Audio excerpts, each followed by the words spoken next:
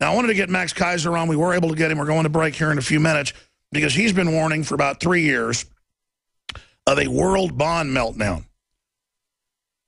He predicted it would happen by last winter. There were some jitters then, but it didn't happen. It's bold to set a date, but he's had a lot of predictions come true. It certainly is the biggest bubble ever.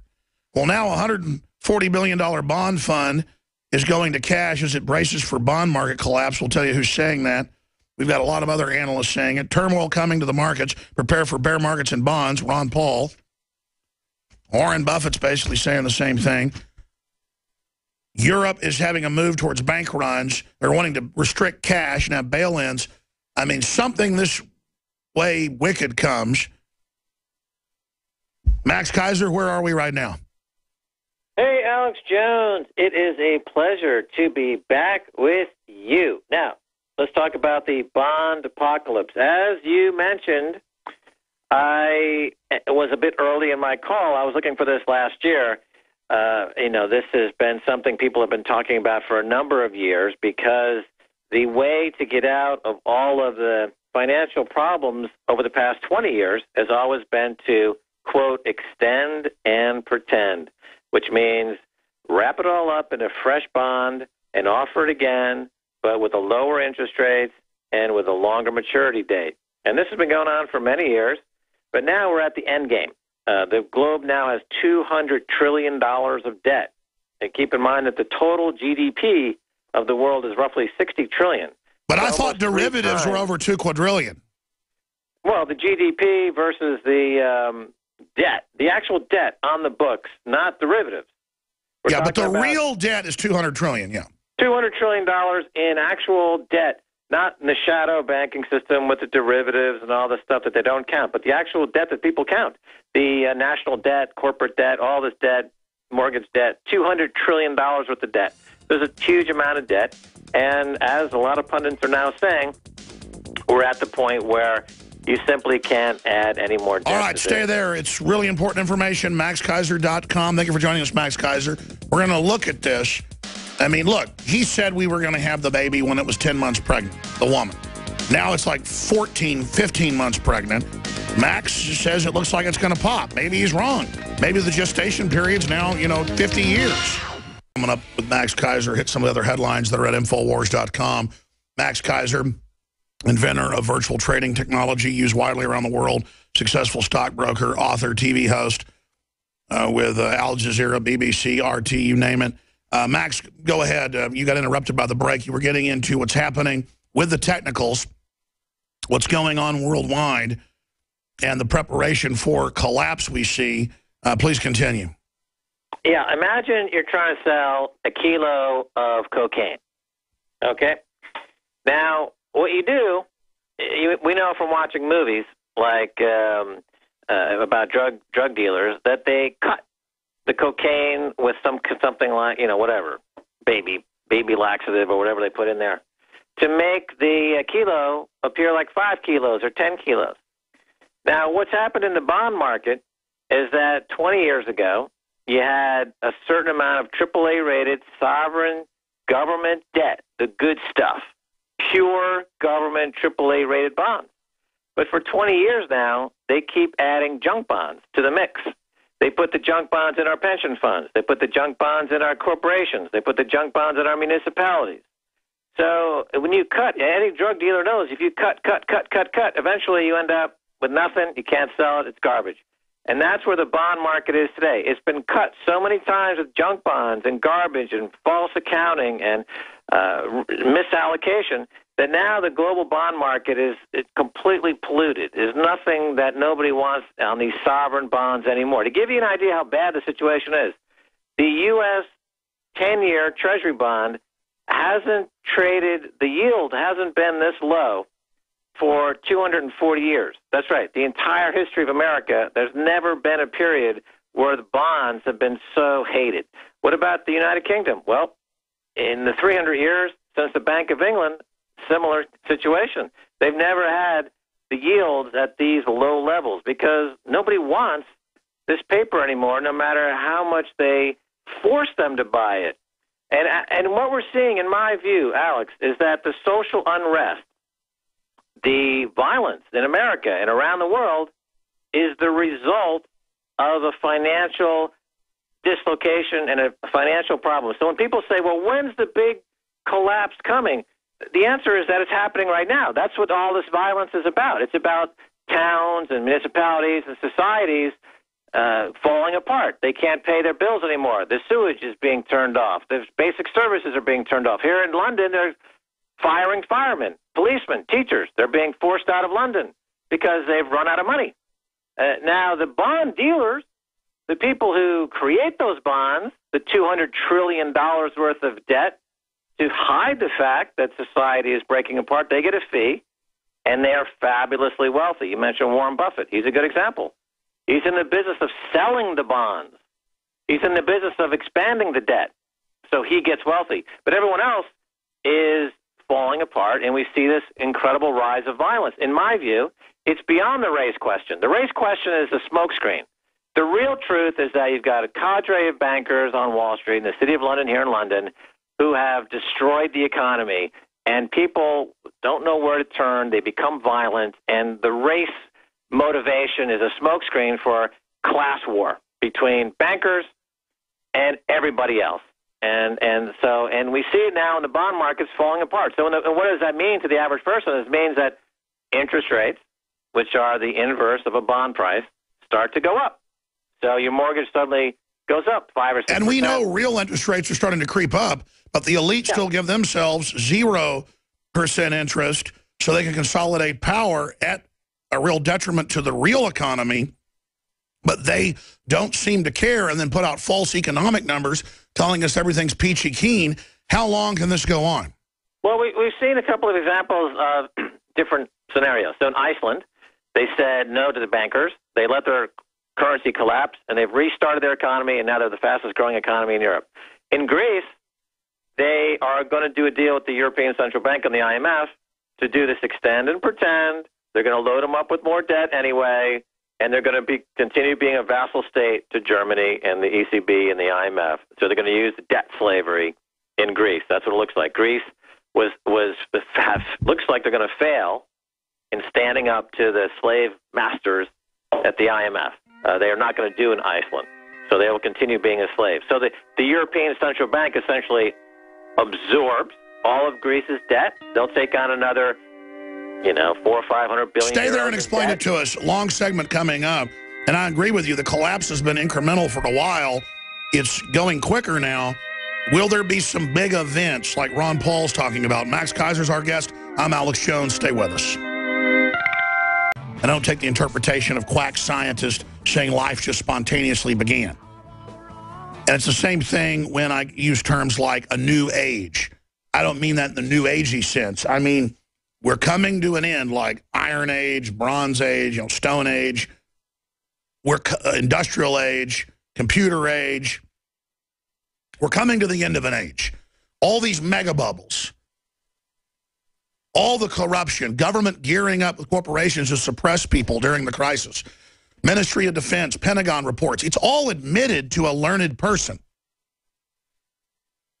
Liberal just means well-learned in the ancient text.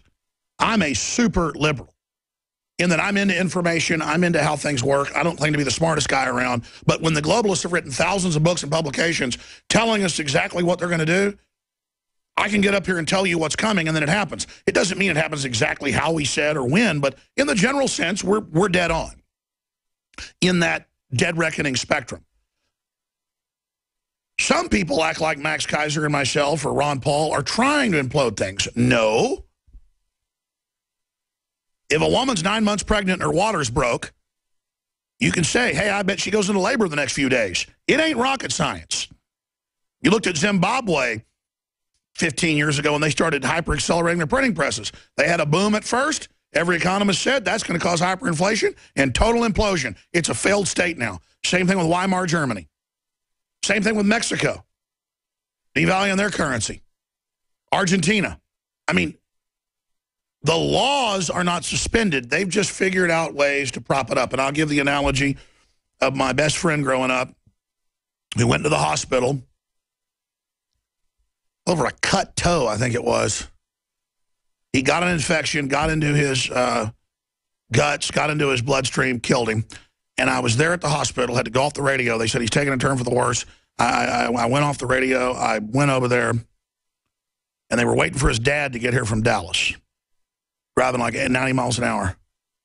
And the nurses said, look, he's, he's, he's going to die. If we don't keep giving him adrenaline, he's going to die. And they said, we think we can give him adrenaline one more time, might keep him alive for about an hour. And he was on a respirator, but he was conscious looking at me. And I went in there. The first they wanted me to get him to fight and everything, and he was, you know, I'm trying to fight, but he couldn't talk with the thing down his throat. You could see him in his eyes looking at me, and tears come out of his eyes. But man, I was there right before his dad got there. They gave him that last thing of adrenaline. It jacked him up for a while, and then his eyes went glazed. They looked at him and they said, he's dead. They took him off the respirator that night. I remember sitting in there. He was peacefully dead. This country and this world economy is dead already. It's on a respirator of QE Unlimited. And all I know is the elites are building bunkers and running to the hills. I told you that first. It's in the news now. And I talked to big wigs this week, a lot of them, not just the two I talked to over the weekend. Now I've talked to more. And there is a hysteria in the elite. And you're seeing it in the news now. Now, I hope the bubble doesn't pop now. This is going to be so painful, but it can't go on forever. I had uh, Schiff on yesterday, and he said, no, we need to pop it before it gets bigger. It's more dangerous. Max Keiser, you got the floor for the next 12, 14 minutes or so. You were going over, you know, they keep cutting the cocaine. They keep cutting the bonds down to where it's nothing but talcum powder now people are realizing that. Folks keep buying U.S. bonds because they know if it goes under, everything goes under. But at some point, it's like a snake eating itself. I mean, it's craziness. And then the general yuppie public just thinks everything's wonderful because, you know, they can watch Caitlyn Jenner or whatever his name is. I, mean, I'm not against Caitlyn Jenner. I just don't care. I mean, it's mental illness that we promote all this stuff that doesn't matter at the end of the day and Confederate battle flag fights and just we're fighting over who polished the silverware the best on the deck of the Titanic's what I'm getting at. And I look at this economy like my friend, dead already. Or it's kind of like use the Wrath of Khan analogy of Spock goes in to fix the reactor and you want, Kirk wants to go in to save him and they grab him they say, look, you know, he'll die if I don't get him out. And they go, look, he's dead already. I don't know how long till Spock hits the ground, but – I mean, he's leaning over right now. His skin's burned off. I mean, uh, and then and people sitting there to us, it's not bad. It's not bad. You're a liar. You're a fearmonger. And we're just looking at weapons moving in with NATO to have war with Russia. Our government's so crazy they fund al-Qaeda to murder every Christian they find. I mean, we got really evil people in charge.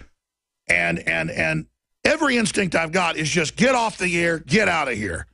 Roll over to the globalists and just run with my family. But I'm not going to do that Max, and I, am 100% saying what I believe, what I see happening. How long can this go on? What is the state of the world? What will the accelerated meltdown look like? Well, first of all, I have to ask, there are people who confuse you with a new age, incense burning, uh, Birkenstock sandal wearing, yoga, uh, Vedic master. I'm, I'm shocked. Alex Jones of Austin, Texas, worshiping crystals? No, no, no, What I'm getting at is I say we're coming to the end of an age. Clearly, clearly the yeah, end so of an I age is it, here. I get it. I get it. So listen. No, but I'm asking you: Are we not at the, the end of an age? You know, like like they they have to fund themselves. They sell bonds, right? And uh, what's happened is that they have starting to buy their own bonds because nobody nobody else nobody else wants to buy them out there. So they're buying their own bonds because if they stop buying their own bonds then the bond markets collapse and interest rates go high and everything falls apart, like it did in 2008. So in 2008, everything came to a dead stop, and suddenly they printed 60 trillion dollars. The debt of the globe went from 140 trillion to 200 trillion. They printed 60 trillion dollars to essentially buy back their own mistakes. Uh, the theory is, why do they do this? Well, the theory is that we're going to fake it till we make it.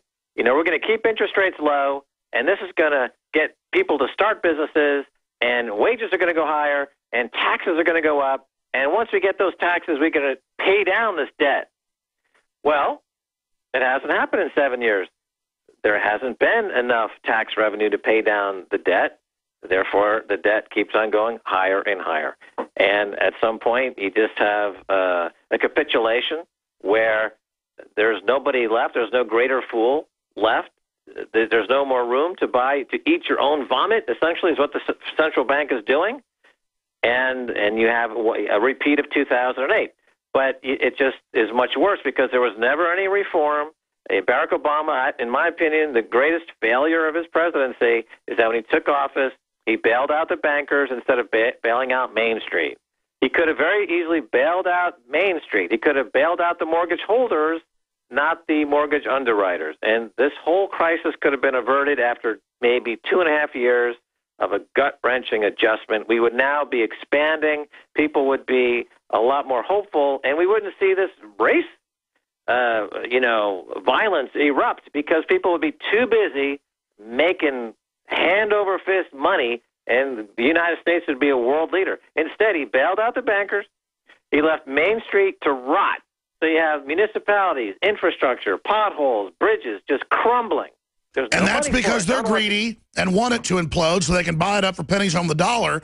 But only a suicide banker, the term you coined, would do that because the conflagration is so incredibly dangerous. There's so many suicide bankers now. There's another, like every week, uh, there's another banker because they feel so ashamed of being in that industry and participating in financial terrorism that either they just outright kill themselves out of embarrassment to be associated with the likes of Jamie Dimon or Lloyd Blankfein, or they just blow themselves up because you know they, they've lost their mind. But when you give guys unlimited credit at zero percent interest, and every time they make a mistake, the government bails them out, you know you're encouraging psychosis on a mass scale. Well, I disagree with you. I think most of these hundreds of bankers dying a year are being murdered. Well, uh, you know, in in the case of J.P. Morgan, you know, when you work for them, and I worked on Wall Street for many years, you know, when you do a life insurance contract, it's in the name of the firm, it's not in the name of your family. So if you're dead, the firm gets the death benefit, not your family. Well, aren't these guys the biggest gangsters ever? You told the story. Was it J.P. Morgan calling up or, or was it Goldman Sachs? Oh, Corzine, and said, "Listen, you give us our billion dollars, or we're going to kill you." And uh, I, I, my understanding is that he threatened to kill Jon Corzine during the MF Global scandal. They got paid the billion dollars ahead of any other creditor, but totally broke the law. That's a completely uh, unlawful act of security. Well, listen, violation. you've been there. I've been there at the highest levels of some major business and also Hollywood. When you get in these rooms with these guys, they are beyond gangsters out of movies. And they really do. I mean, that's who they are. The public is so naive. Well, the public doesn't have any sense that there are victims to these financial crimes. But I, in my view, the way society is breaking apart in America is because the economy is breaking apart in America. So it, it I don't make doesn't make sense to say, well, when is the big bond bubble going to collapse? Because by then, if you're not prepared, it'll be too late. And during this interim period, all of these portions of society are breaking down anyway. So this this is happening right now. It's happening in real time. It, it's it's here. Uh, so it's not about the absolute moment when you suddenly have a bond apocalypse and there's another 2008 like scenario. If you're not completely prepared at that point, you know you will. It'll be too late. But you should know that you're already experiencing a degradation in your society, and in your country, because of the massive quantities of wealth that have been stolen by the folks that we've been talking about. Sure. well, well, except for a few chosen cities, a few chosen areas, like Austin, Texas, uh, like some areas of Orange County. You drive around the country, I've been all over it. It looks like a bombed out third world war zone uh, compared to what it looked like decades ago when I went on road trips across this nation. I mean, this country... Well, what happens is it becomes generational. So now you've got a whole generation, people that are just now 20, 21, 22, who have, don't know anything different. So they grew up without, their expectations are that America's a second world country, that America's a third world country. They never, they have no memory of America from even the 1980s. And when I started working on Wall Street, in the 1980s, Amer- the wages in America were still relatively quite high. You could have a single family breadwinner. You could have people going to school without incurring huge amounts of debt. You could get a decent. I walked on onto a brokerage firm in 1983, got a job on the spot, and became very, very successful pretty quickly without any training in that field whatsoever because the opportunities were there. There were many firms on Wall Street Now they've all been either gone bankrupt or been taken over. Now you only have two or three firms on Wall Street. There's, I mean, Merrill Lynch has now been taken over. Yeah, I was talking to a well-known uh, former owner of a large brokerage company that managed billions, and he just said, you know, about six months before 2008, he sold it all, got out,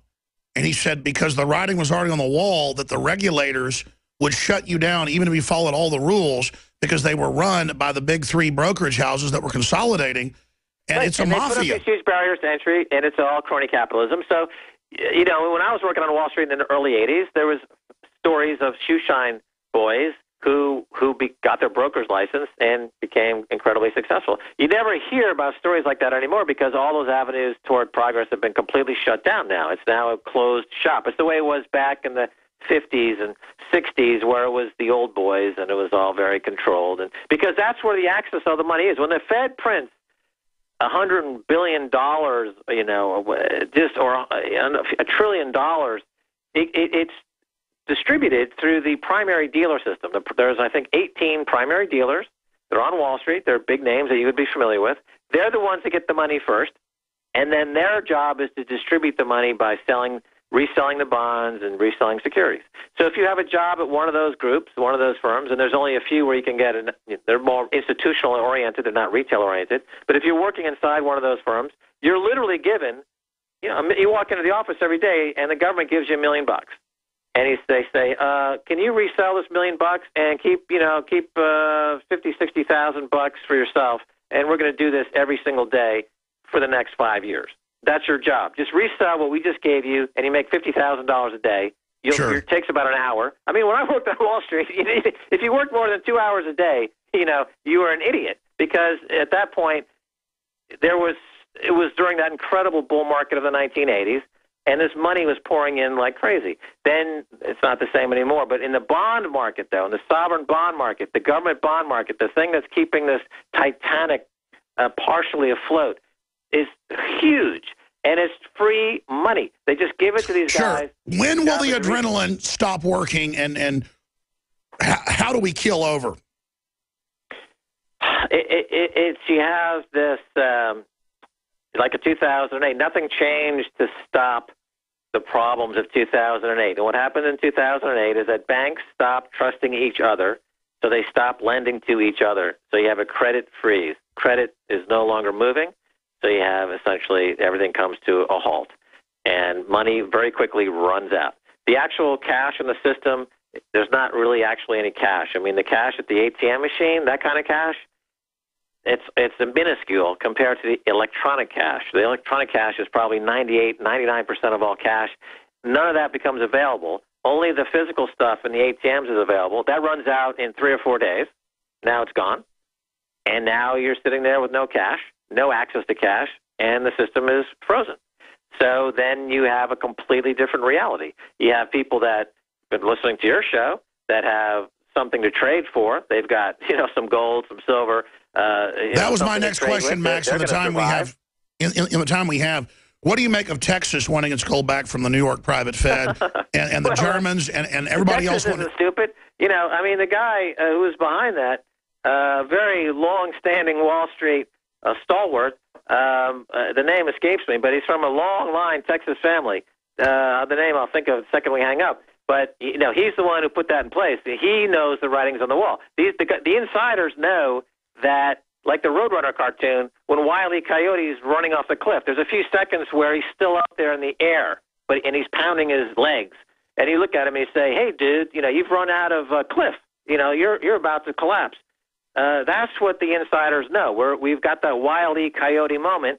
So the Texas very wisely have repatriated. So has Austria. So has Russia's buying thousands of tons of gold. Germany is, hasn't. Uh, China. China's been buying gold. Germany already has a lot of gold. The insiders are buying and accumulating the gold. Texas doing a very smart move uh, by by doing. It, it, you know, you, you got to look at that, and if that is not telling you something, you are not you're not you're not listening. You're not listening to what's happening. Okay, well, obviously the collapse has already begun in the third world. Millions more are starving every year. Riots all over the planet. It hasn't completely hit here yet, but the water's rising towards our higher islands that are really just mountains, you know, here on the bottom of the sea, sticking up above the surface. is there bigger moments where the collapse accelerates? Well, I mean, you remember 2008. It was not that long ago. The entire world economy had come to a grinding halt.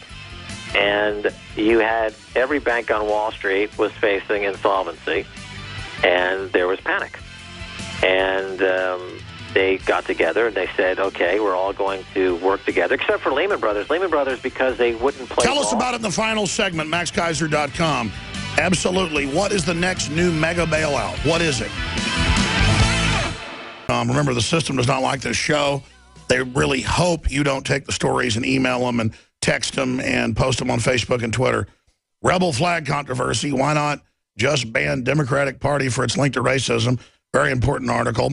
Council of Conservative Citizens adds a race dialogue as race war brews in America, which they want to distract us from the social unrest and make it racial. Google secretly testing self-driving cars in Austin, Texas. Sick new ISIS execution video emerges of prisoners having heads blown off, being drowned in cages and blown up in a car. Google secretly spying on computer users via microphones. U.S. will permanently position heavy weapons on Russian border. You know, what about that? I was getting into the economy and gold and all the things that are happening. But what about now NATO saying they're going to have logistics, commandos, fighter bombers directly in Ukraine attacking the Russians? I mean, this, this, and it's not even a big news item. It's just like, oh, we're sick of hearing about Ukraine. Big deal. It, it, it really is mental illness. What are the establishment people thinking, Max Keiser? Or is this threat of war meant to prop up the financial system somehow? To Ukraine, that we know you can't pay back our loans, but we're going to give you the money anyway. And then they turn around and tell Greece that you can't pay back the loans, so we're not going to give you any money. You know, so why is the IMF, Christine Lagarde, why are they dictating global geopolitics? They're not an elected body. Nobody put them in charge. They're just a bank. This is an example of what we're saying, where the bankers take over and they start dictating policy. So they're saying, IMF is saying to Greece, you have to starve. You have to be Germany's debt slave. Then they turn around to Ukraine and say, oh, we love you, Ukraine. We love you. Here's all the money. We know you can't pay it back, but we'll give you another fifty billion. so why? What's the double standard there? There's no explanation why you in Ukraine is a well. They totally control Ukraine, and they're giving it's it to Joe Biden's hole. son. I mean, you're going to put. Money. There's no chance in a zillion you're ever going to see any of that back. At least with Greece, they have some kind of you know economy with olives and tourism. It is insane, no, but I oh, mean, you look, got look, me look. going now. You were you were just said a moment ago. Uh, you were talking about truck drivers. Uh, you know these uh, Google cars, the auto driving cars. You know that the number one job in 39 states in America is truck driver. So imagine when these self-driving trucks take to the highway. That's the number one job in 39 states in America. That's going to be a huge wave of unemployment on top of the current unemployment. That just means more violence, more unrest, more tension. Uh, why? For what purpose? Who does it serve? Who's writing these, these knucklehead ideas into their policies? Makes no sense. Do five more minutes with us because I forgot to get to the points you wanted to cover. Experimenting with virtual reality, financial services enter the matrix. That's a story out of TechCrunch you sent me. And Max Keiser. Um, I told you about it. J.P. Morgan, uh, big article about that, says that he is the devil incarnate. Oh, yeah. I said that um, the devil incarnate is uh, Blythe Masters. I made that point. I was up in Belfast. And Blythe Masters is trying to control Bitcoin. And as you know, I'm a big Bitcoin supporter. And now she is in league with some very unscrupulous people, and they're trying to take over Bitcoin. So the battle is on. The fight is on. It's Max Keiser versus Blythe Masters once again. After we battled in the silver market, now we're battling in the Bitcoin market. She is by far, of all the corrupt bankers on Wall Street that have come through there in the last 30 Stay years. there. I want to come back, and I want to end this main transmission with Emperor He's Palpatine. You can't stop me. Darth Vader will become more powerful than either of us. Finishing up with Max Keiser, Infowars.com, MaxKeiser.com. Can follow him on Twitter by going there to that site. Uh, Max, uh, everything's getting more and more gamed. You brought up the driverless cars. Time Magazine and others have said, get rid of humans driving. Robots are better. Well, how about kill all the humans and say robots are better? It's like this anti-human view of the elite is translating down, but globalism destroys the market. It's consolidating. Uh, and then these globalists just think they're going to run off to their armored redoubts and be safe forever. They're crazy.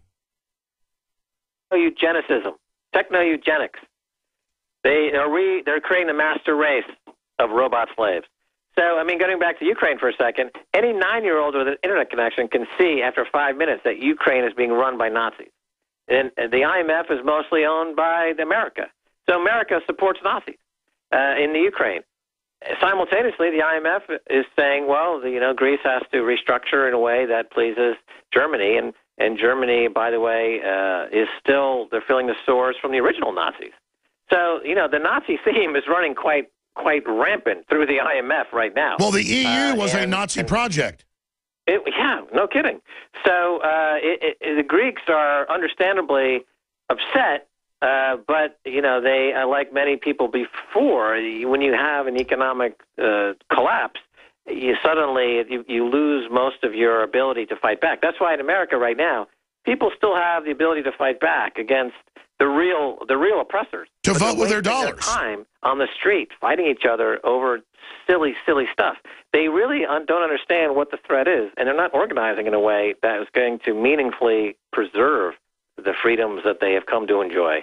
And it's really sad to see that. I can see it clearly because I'm not in the United States, uh, so I get to look at it from a kind of a big picture view. But uh, yeah, I can see that on an interscene basis, town, town, man, man, woman, woman. They're they're engaged in these little fights that are going, and, and they're sleepwalking into tyranny. I'll, I'll say that America is sleepwalking into tyranny. Very sad, but it looks irreversible at this point. And the establishment has made the conscious decision to do it. What do you make of TPP and the arrogance that they're about to pass it tomorrow?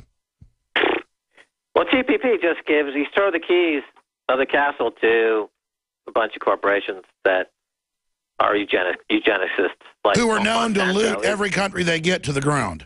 Yeah, Mon Monsanto is pure eugenicism, pure eugenics, Monsanto. Uh, they're huge. The copyright cartel. You know who's really putting up a good fight right now? I'd say that the number one threat to the monopolists right now is Kim Dotcom. Kim Dotcom is putting together a new uh, company called Meganet, and Meganet is going to challenge the internet by introducing a new internet that's going to run on the spare capacity of people's uh, smartphones. By the way, Kim invited uh, Leanne out there before he even announced that, and it never happened. I need to get an update from uh, Leanne McAdoo. But maybe. Oh yeah, well, there's going to be uh, a completely encrypted internet.